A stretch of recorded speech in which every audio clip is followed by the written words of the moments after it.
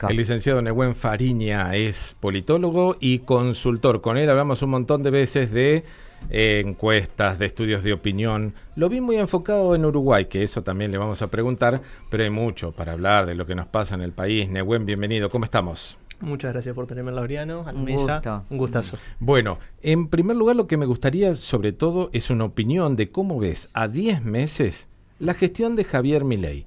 Después de cuántas cosas pasaron de diciembre hasta hoy, ¿no? Eh, el- ¿La balanza es a favor o la balanza sigue estando todavía en contra? Hace algunos meses, cuando vine a esta misma Sí. mesa y, y charlamos un poco, aventuramos lo que fueron los próximos meses, los últimos dos meses de Milei, que han sido, la verdad, para el, para el espanto, ¿no? La verdad que el presidente sigue perdiendo imagen a un nivel alarmante, ¿sí? Sigue abriéndose flancos todo el tiempo, ¿sí? Siguen con esa estrategia de confrontación directa con lo que en la ciencia política se denomina los pseudoeventos, eventos hechos exclusivamente con la intención de comunicar. ¿Sí? Vemos el cierre de AFIP, por ejemplo, que, Que en todavía no términos- aparece ni siquiera en el boletín oficial. que en términos operativos, ¿sí? en términos operativos no tiene muchos cambios. ¿sí? pero es un eh, o trata de ser un golpe simbólico ¿sí? Sí. para darle un poco más de aire al gobierno después de tres peleas muy fuertes que ha perdido, como el DNU de la CIDE, como eh, la insistencia del todo el Congreso con respecto al tema jubilaciones y después con el tema de la educación. ¿sí? Él ha pagado muchísimos costos con eh, segmentos muy específicos de votantes que antes lo votaban y que hoy no lo votan. ¿sí? Entonces, eso es como el corto plazo. ¿no? Ahora, mirándolo en retrospectiva, la verdad que ha, si- ha sido y es el presidente más débil el- en, en términos de, de Congreso, Congreso. y en términos de opinión pública. Porque muchas veces escuchamos que Milei, o el mito que Milei tiene muy buena imagen, y la verdad que Milei ya arrancó, ¿sí? en diciembre del año pasado, con prácticamente su imagen polarizada, 50-50. ¿sí? Y desde ahí lo ha mantenido y ahora que se ha quebrado, que tiene 40% de imagen positiva y 60% de imagen negativa, pero lo ha sostenido a pesar de el gran ajuste. Exactamente. Y, y a propósito de esto que decías vos, la imagen negativa, y a pesar de eso continúa tomando decisiones que obviamente eh, caen muy mal a la sociedad. Yo en la consultoría siempre está como esta obsesión de mirar eh, los niveles de imagen, los niveles de aprobación de gestión, los niveles de aprobación de imagen. La verdad que si uno ve unos estudios cuantitativos, hay casi 20 variables, más allá de la imagen, que vienen bajando estrepitosamente. Creo que lo comentábamos la, la otra vez, sobre todo la esperanza de bienestar económico para el año que viene, lo que se conoce como prospectiva económica. Sí. Básicamente la respuesta es cómo va a estar usted el año que viene. Mejor, peor, igual. Esa pregunta, si uno preguntaba en enero febrero de este año, casi un 80% te decía que iba a estar mejor. Sí. Hoy, con suerte, es un 45%. Entonces, ese es el dato, ese es el dato más fuerte, ¿sí? ese es el dato más fuerte de cómo esa perspectiva de futuro viene cayendo a pasos agigantados. Ahora bien, Milei, producto de una oposición muy heterogénea y dividida, ¿sí? que tiene desde personajes como Cristina Fernández de Kirchner, Lustó, Pichetto, eh, radicales de todos los colores, bueno, él gana porque todavía tiene un centro muy homogéneo y, y un centro muy fidelizado alrededor de su Sí. figura. Ahora, ese nicho es cada vez más chico, porque estamos hablando que Milei en la segunda vuelta ha sacado el 56% y muchas veces parece que Milei se comporta como que si hubiera sacado ese 56% en la primera vuelta y lo sacó en el balotaje. Sí. Mm. Sí, sí, Sí, sí. sí. Bueno, y va cayendo, pero a ver, no creo que obviamente llegue a un fin de gobierno, pero ¿cómo le perjudicará esta situación al 2025? ¿Hasta cuándo la gente tendría paciencia como para que des- pienses hoy, si vamos a las elecciones no gana o le va a ir para, para atrás? Bueno, ahí, ahí siempre es relativo, ¿no? Y más en las elecciones legislativas. Sí. ¿Por qué? Porque lo que se eligen son senadores y diputados. Entonces, siendo plenamente objetivo, mi ley defiende dos diputados. Su banca y la banca de Villarroel, electos en el 21 por Capital Federal. Sí. Todo parece indicar que la Libertad Avanza va a sacar más de dos diputados. ¿sí? Entonces, Sí. En capital. En Capital y en el resto del país, digo, es, O sea, es- pero- es tan claro como eso. A, a eso voy. En este contexto, ¿le da mi ley como para formar en las provincias Partido Libertario, Frente? como Esquema para- propio, decís vos. Esquema propio, como para decir, tengo mis diputados, mi, mi fuerza en la provincia, ¿empiezo a forzar eso? Sí, ¿Forjar? sí, to- totalmente. Sí, porque estamos hablando que tiene un núcleo de apoyo eh, muy firme de 30 puntos. Sí. Eso ah, es prácticamente inamovible, casi como en, en- en los mejores momentos del kirchnerismo. Entonces, Eso está y lo que mi ley probablemente tenga va a ser mucha ganancia de diputados y senadores. Ahora, respondiendo a tu pregunta, y es muy buena, de cómo se van a encargar las distintas provincias. Cada provincia va a ser un mundo distinto. ¿Por qué? Porque vas a tener incluso provincias como aquí Misiones, donde vas a tener cuatro espacios competitivos casi, porque vas a tener la Libertad Avanza, vas a tener el Partido Provincial, vas a tener, si hay algo que era se llamaba PRO o Radicales juntos, o PRO y Radicales, pero supongamos PRO junto, el ex Juntos por el Cambio, y el kirchnerismo o el peronismo. Entonces ahí ya tenés cuatro con chances. Imagínate vos eso en todas las provincias. Entonces, los acuerdos van a ser muy sectoriales, van a ser muy específicos, porque en algunos se juegan senadores, entonces salir primero, salir segundo, salir tercero no es lo mismo. Y en lo que se juegan los diputados nacionales probablemente veamos mucha fragmentación electoral. Eso es lo que dicen los números. Con Arjol, el misionero Arjol, este, en el medio de todo este lío, ¿es mi ley el culpable de la ruptura del bloque radical que se conoció hoy? Mi ley ha definido la política con una centralidad absoluta en el último año. Es decir, la política hoy se define si estás a favor de mi ley o en contra de mi ley. En esa dicotomía el radicalismo sufre, sufre, sufre, porque tiene personas de todo tipo. ¿sí? Entonces, em, en ese sentido, mi ley lo que ha hecho ha, ha, cambiado la lógica de la política argentina. ¿sí? De hecho, nosotros veníamos de lo que se conoce como un bipartidismo coalicional, es decir, peronismo-antiperonismo. Por un breve momento, en el 2023, fuimos a tres partidos, lo que se denominó el esquema de tercios, Juntos por el Cambio, Unión por la Patria y la Libertad Avanza.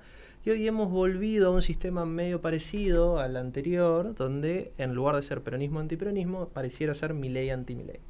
En esa es la lógica que va a primar, al menos en la elección del año que viene, sobre todo en las nacionales. Bien polarizado, Bien ese polarizado. pro o anti. Exactamente. Entonces, personas como Martín Arjol, con una identificación radical muy marcada, sufren mucho porque no tienen un posicionamiento claro, salvo ahora Martín, que se ha, escindido un poco más de las posiciones partidarias, institucionales, y se ha volcado más a, un trabajo codo a codo con el presidente. Eh, eh, un partido radical, el tradicional, que ya no existe más. Tenemos que pensar en eso. Quienes, bueno, venimos de varias eh, somos ya más de 50, varias elecciones, y vimos una transformación de la Unión Cívica Radical que hizo que cada vez se debilitara aún más, ¿no? Como partido. Sí, los partidos te diría que ya no, no son catalizadores de voto, no, no logran mm. movilizar, sobre todo en, el segmento más joven. Los escudos no existen. Yo como, ¿eh? yo como consultor me, me, tocó, cuando nosotros empezamos a ver las primeras encuestas de mi ley, que, que venía, venía subiendo allá por mediados finales de 2022, yo charlé con muchos con muchas personalidades muy importantes de la política, entre muchas comillas, tradicional, y se me reían cuando decía que mi ley venía bien, que mi ley podía llegar a ganar, porque decían no tiene estructura, no tiene partido, y ha ganado la presidencia una persona que tiene un sello de goma, ¿sí? sin partido, sin estructura, o sea, ha casi que puesto en crítica o en duda todos los supuestos que la política tradicional había sostenido. Entonces yo miro bastante de reojo a los partidos y me parece más que generalmente hoy tendemos a seguir más personas que partidos. Sí, hablábamos recién sobre la imagen y qué es lo que podría afectar, imagen de mi ley y del gobierno. Y entre las medidas está, bueno, jubilados, creo que hay un rechazo total a las medidas que tomó mi ley. Después vemos universidades y vemos a, eh, a FIP. La opinión de la gente respecto a estos temas, ¿crees que por ahí suma algún positivo o todo es negativo? ¿En qué sentido ¿En qué sentido me refiero al impacto, por al apoyo? Al apoyo. Dicen AFIP, uh, sí, terminó este, este banco de ñoquis. Mis amigos dicen, qué bueno que se hizo eso, con la FIP. Por eso, prometió y lo hizo. O, mm. por ejemplo, en las universidades, sí, había que limpiar un poco. Así piensa al menos la gran parte de la población. ¿Hay, ¿Hay un puntito para arriba en ese sentido? Mira, sí y no. Sí, en tanto y en cuanto que mi ley ha instalado conceptos muy importantes como el de déficit fiscal, por ejemplo, el de auditorías, el de control del Estado. ¿sí? Esos términos él lo ha instalado y es una de sus grandes victorias. Ahora bien, la educación pública es uno de los pocos hitos fundacionales y transversales que tiene la Argentina en su totalidad. Entonces, cuando se pone en peligro la universidad pública, y cuando hay manifestaciones tan masivas, es muy difícil que las personas se queden de lado o se queden em, sin una reacción muy concreta. Entonces, si bien hay algunos conceptos que ha instalado muy bien, temas jubilados y temas de educación pública nuclean muy bien. De hecho, a la oposición, la oposición es muy tonta en los planteos que hace hacia mi ley. ¿Por qué?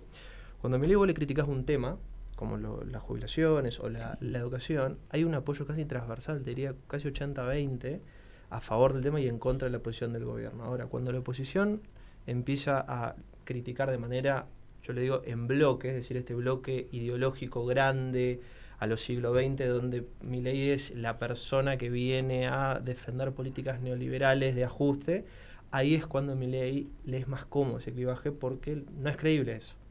Ahí es donde Milei tiene más para prometer como ese eterno candidato que viene a renovar la Argentina.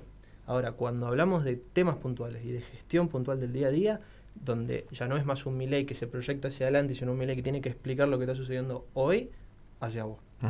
Eh, siempre los que están gobernando, cuando les toca las elecciones de medio término, ponen a eh, figuras fuertes de su gobierno para decir, acá hay que votar a mi gobierno, fortalecerme a mí.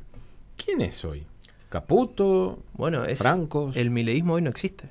Y ese es uno de los grandes desafíos. ¿sí? Milei es una persona muy popular que genera mucha conversación digital. Digo, mencionaste, Laureano, el, el, informe, nosotros estudiamos mucho redes sociales y Milei es, por caso, siempre, desde hace casi dos años, el político que más menciones digitales genera en toda la Argentina e incluso muchas veces en Latinoamérica.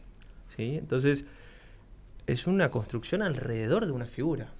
¿Cuál va a ser el desafío el año que viene? Bueno, cómo él logra trasladar esos votos, porque los votos no tienen dueño. Entonces ahí tenemos dos opciones. O Milei se pone la campaña al hombro y en el caso de haber un mal resultado puede sufrir muchas consecuencias, o logra trasladar y empoderar a otra figura, como por ejemplo pienso en José Luis Esper en la provincia de Buenos Aires. Y, y pensando sobre todo en que viene una boleta única, donde no va a poder estar, no sé, pongo un ejemplo, ponele que a Franco, que es el más político, no va a poder estar al lado mi ley en la foto, en la boleta, para que uno diga, ah, acá está, si yo considero que este gobierno está bien, esta es la que yo tengo que votar, sino que hay que ir a marcar. Sí, va a ser un desafío también. Yo creo que nos vamos a encontrar con, en, lo que se conoce como el día del día de la selección, nos, vamos a encontrar con muchas, muchas, muchos, muchas dudas, muchas inquietudes. La verdad que la implementación de la boleta única siempre deja muchas dudas, sobre todo porque esto es algo que eh, se estudió mucho en, Córdoba y, en Santa Fe, que, implementan boleta única. Generalmente los, em, los candidatos inferiores, se le dice, o los candidatos locales que van junto con las nacionales, sufren casi un aumento de entre 20 y 30% de voto en blanco, porque la gente marca y cree que marcó la lista completa y solo marca la primera lista, entonces deja vacíos los otros. Eso es algo que pasa mucho. Si ustedes ven las elecciones a intendente Córdoba, generalmente los intendentes tienen 20% de voto en blanco, los diputados provinciales tienen 30% de voto en blanco casi como los comuneros en, en, la capital federal. Entonces, eh, va a ser una curiosidad ver cómo se implementa eso. Y en esos desafíos creo que también viene eso que mencionaste, Laureano, que, que mi ley no va a estar en la boleta y va a tener que ver cómo construye personalidades, cómo construye una imagen de gobierno para, para defenderlo. Silvia. Bien, eh, bueno, son tantos temas que podemos aprovechar para hablar, pero me interesa, podemos volver después a, las elecciones del año que viene, pero mencionabas a la imagen de Miley y me gustaría saber si se ha medido o si se mide a nivel internacional, porque eh, ¿cómo lo ven afuera? por lo menos en las noticias, su, personaje es un loco, es un gran economista. ¿Cómo se lo ve? Es muy difícil hacer una encuesta a nivel internacional, sobre todo porque tiene desafíos metodológicos muy importantes. Nosotros lo que sí hemos hecho es eh, un análisis digital. Y ahí lo que sí te puedo decir es que eh, un tercio de las misiones de Milley ¿sí? son internacionales.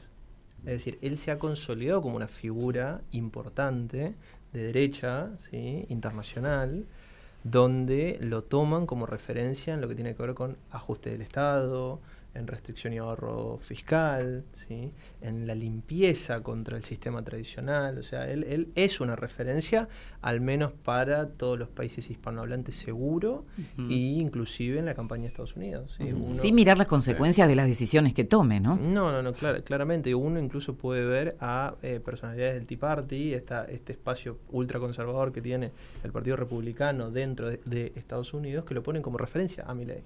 De hecho, dicen, bueno, lo que nosotros necesitamos es que Trump venga y venga a hacer lo que está haciendo Milei. La verdad que eso es algo raro, para, para, Argentina, pero, sucede. Entonces será una cuestión de, analizar los por qué y analizar un fenómeno que decididamente es un fenómeno muy importante pero en englobado, englobado en una corriente que no es tan nueva como estos discursos popularizantes. Sí, a eso quiero ponerte como asesor de mi ley, ponerte un ratito a ver como asesor. Eh, y, y, un ley que sigue diciendo que quiere ser el que ponga el último clavo con Cristina dentro para el, el peronismo. ¿Crees que ya termina ese discurso o crees que le puede funcionar? Porque así, con ese discurso llegó a ser presidente. Y yo creo que le funciona. Pues ¿Le funciona todavía o ya le diría la como asesor? Le dirías, deja de lado la Afloja agresividad. un poquito. ¿Para qué lado tenés que ir? Sí. Hay algo que es fundamental y se lo digo incluso a todos mis clientes, que es que en la campaña es una comunicación, ganaste y tenés que cambiar la comunicación. Porque gobernar implica una responsabilidad donde hay que hablarle a todos. Y por gajes del oficio, nuestros últimos tres presidentes se han eh, sentido muy cómodos en esta lógica excesiva de confrontación, ¿sí? porque lo ha hecho Macri, lo ha hecho Alberto, lo está haciendo Milei, donde confrontan todo el tiempo. pareciera ser una búsqueda incansable del enemigo, ¿sí? para justificar mi debilidad en términos de opinión pública, de gestión política, porque nuestros últimos tres presidentes han sido muy débiles políticamente. Entonces, eh, yo lo que le aconsejaría es que sea más propositivo, ¿sí? que se olvide un poco de, las peleas, ¿sí? Eh, y me parece que ahí tiene mucho para ganar, porque sobre todo sigue manteniendo un, un, un, nivel de apoyo muy alto. Ahora, hay una realidad, si la economía no mejora, ¿sí? no, no hay comunicación, no hay consultor que lo pueda salvar. Digo, por más de que, de que Santiago Caputo se, se denomine el modo del Kremlin, eh, la realidad económica es mucho más fuerte que cualquier intervención de la consultoría. Entonces, eh, si no hay un repunte económico, una mejora económica, lo mismo dije hace tres o cuatro meses, si no hay resultado concreto en términos de poder adquisitivo, ¿sí? la lucha por la inflación, el, dólar planchado parecen ser buenas noticias, pero no hay una mejora del poder adquisitivo. Lo que hay que mirar es eso, cuánto compra mi sueldo. ¿sí? Supongan mi sueldo en términos reales vino subiendo, que es el dato que dice el gobierno. Ahora, si ese sueldo me alcanza para comprar menos cosas, mm. yo no siento esa mejora en términos reales. Y ahí es donde está el problema. Las últimas tres, arranco. Eh, Mauricio Macri. En este contexto donde hay un Milei que institucionalmente en el Congreso está débil, ¿no? Y que lo necesita. Mauricio Macri va a ser el salvavidas o el que le va a dar el último empujoncito. La verdad que, gran pregunta. Si, hmm. si, si, conoces la respuesta o alguien te la contesta. Hmm. Pero ¿cómo lo ves a Macri? Porque va, se reúne, acuerdan, le dan energía, pero después va a una entrevista y dice, este desquiciado, loquito, este, no sé todavía cómo lo elegí. Viste que tiene ese discurso dual. Es que están, están jugando un, juego donde el votante del PRO lo apoya casi 100% a mi ley. ¿sí? Es, es, muy difícil que, que un votante PRO eh, rechace a mi ley hoy por hoy si la dirigente opositora más importante es Cristina. Que es lo que sucede. Entonces, mm. en ese sentido, el PRO se abroquera muy rápido. ¿sí? Ahora, las negociaciones políticas que tiene Mauricio Macri, la verdad que han sido zarpazos muy efectivos, ¿sí? porque lo ha salvado varias veces y en las últimas tres semanas se ha quedado con puestos clave de todo el gabinete. Vicecancillería, Secretaría de Energía, ¿sí? todos puestos que ha puesto Macri en las últimas dos semanas, puestos claves para el gobierno, donde Milei no pudo sostener a su gente ¿sí? y tuvo que, entre muchas comillas, entregarlo o ceder ante Mauricio Macri. ¿sí? Entonces va a ser una relación que va a seguir muy crispada, sobre todo el año que viene, porque el PRO va a defender muchos diputados y muchos senadores, el radicalismo también, porque defienden la elección del 2021 que fue muy buena. ¿Y los ve juntos en una lista? Como decía recién, en algunas provincias sí, en otras provincias no. Mm. Porque si hagamos un ejercicio rápido. Capital, que está el primo ahí. Si en la capital federal ellos van separados, Santoro, que pareciera ser que va a ser candidato a senador el año que viene, tiene grandes chances de ganar. Porque van a dividir votos pro y Libertad Avanza y puede ir casi un esquema de tercios en la capital federal. Jorge Macri sacó 60 puntos. Y eh, Santoro sacó 32. Con 32 y los otros dos se dividen, tasa un, uno, o dos puntos de agarrar el senador. Entonces, por eso decía que hay que ver cada provincia. Cada provincia va a ser un mundo distinto y los acuerdos se van a dar en ese sentido. Lo mismo puede suceder en provincia de Buenos Aires con los diputados. Silvia. Recién mencionabas acerca de la oposición más fuerte, que es Cristina. ¿Hay alguno que esté apareciendo incipiente en la oposición? La verdad que no, todavía no. Cristina eclipsa. Sí, eclipsa. De hecho, eh, cuando vos medías a Kisilov hace algunos meses atrás con una Mm. Cristina más apagada, los números de, de Kisilov eran más altos. Hoy son mucho más bajos, casi 15 puntos menos que, los, que la intención de voto de Cristina. Cristina es la, ca- la, la personalidad con más intención de voto en la provincia de Buenos Sí. Aires, por ejemplo. La oposición más fuerte continúa siendo Cristina. Continúa siendo Cristina por, creo yo, también una deficiencia de la propia oposición de poder construir una alternativa Un liderazgo de gobierno. Claro. claro. Yo quiero preguntar por el tema de la oposición. Nombrada Cristina, habrá- hablamos de los otros, de los otros frentes opositores. Eh, están muy debilitados y ahora, por ejemplo, ir a elecciones. ¿Cómo crees que podrían llegar en este plazo de acá al 2025? ¿Podrían fortalecerse o quizás unirse para poder enfrentar? No, yo creo que no se van a unir.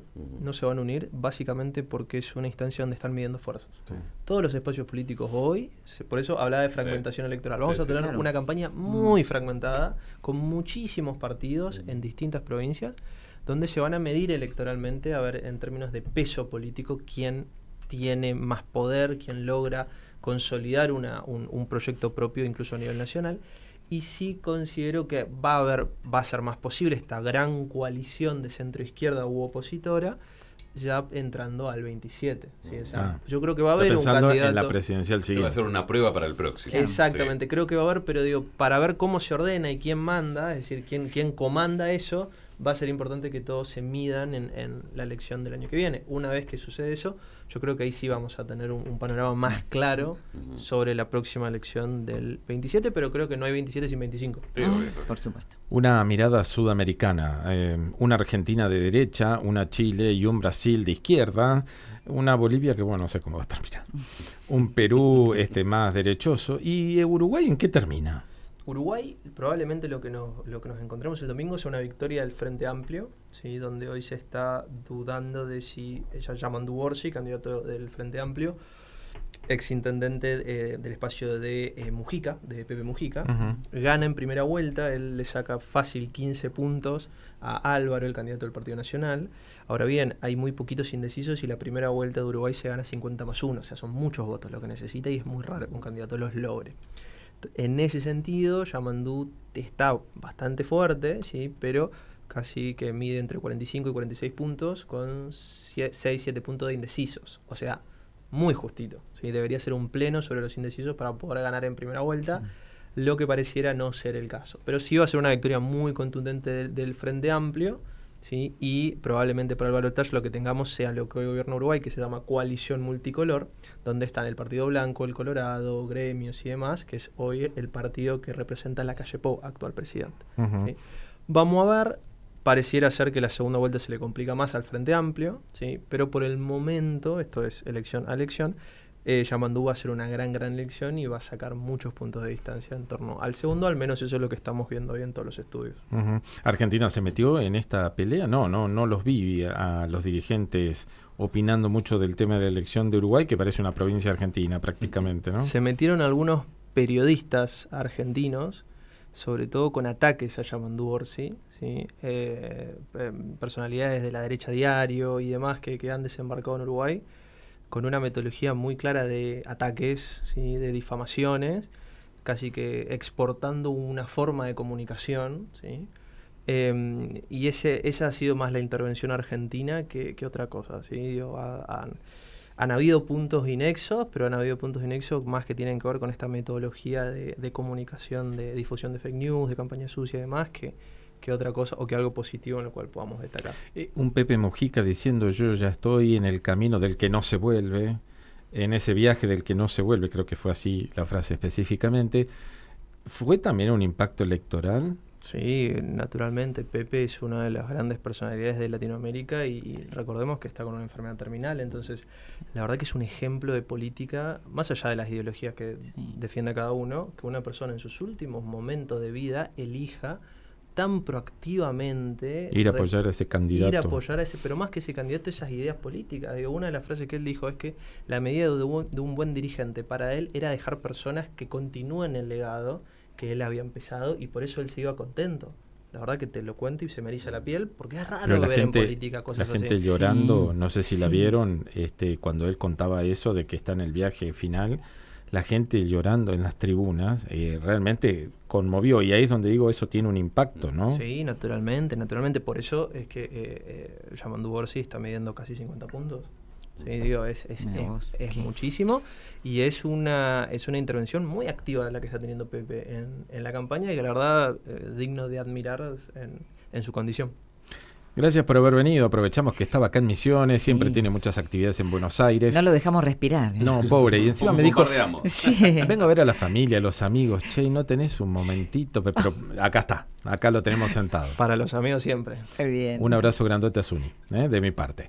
Estuvo con nosotros Nehuen Fariña, eh, politólogo, consultor, charlando de todos los temas de actualidad, de política, del presidente, de la oposición, porque acá hablamos de todos, de oficialistas y opositores. Y en la legislatura misionera, te cuento, lo sintetizo así. A ver. Una demanda del diputado Núñez, Miguel Núñez del PRO. Él presentó en Comodoro Pi una denuncia por el tema del glifosato y agrosustentable. El juez Lijo, el juez federal Lijo, que es candidato a la corte, dijo, señor, usted presentó una demanda que no tiene sustento, no tiene pruebas, mandamos a hacer inspecciones a la empresa, se habló de un producto que supuestamente usted eh, eh, eh, dice que se estaba distribuyendo gratuitamente en las chacras y sin permiso del SENASA, pero no encontramos nada. La cuestión es que la demanda cayó. Núñez venía faltando hace cuatro sesiones, pero lo estaban esperando. La renovación lo estaba esperando, porque le tenía preparado un pedido de sanción. ¿Y saben qué pasó?